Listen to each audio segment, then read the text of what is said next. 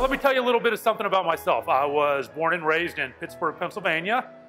Uh, I went to Penn State undergrad, Pitt Law School, and I moved to Dallas in 1986, right out of law school, and I've lived here ever since. Shattered Image is a, basically a memoir. It's kind of my life story with a little bit of a self-help mix. I suffer from something known as body dysmorphic disorder, and what body dysmorphic disorder is, is a psychological disorder is when someone exaggerates or imagine defects in their body that do not exist. What inspired me to actually write the book was started as kind of a catharsis, catharsic, is that how you say that, catharsic experience uh, to help me understand what I was going through. And the more I wrote, and I wrote blogs, I didn't come out with my eating disorder two, until 2008 on my blog.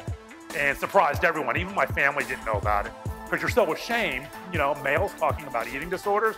Males don't have eating disorders. so you don't, you know, you don't talk about it. I didn't talk about it to my brothers, to my family. I just lived in shame.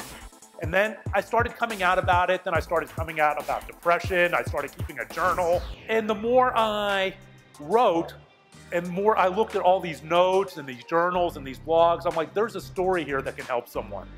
If, if, you want to read my book, Shattered Image, it's not available in bookstores yet, but it is available on Amazon.com and BarnesandNoble.com. You can read a free chapter of my book at www.briancuban.com. Just go there and you can download it and read it. And uh, there are all kinds of support groups online too. If you're suffering from eating disorders, there's the NEDA, National Eating Disorder Association online, Eating Disorder Hope, and then there, there are just all kinds. It's there. Do your research and reach out to somebody.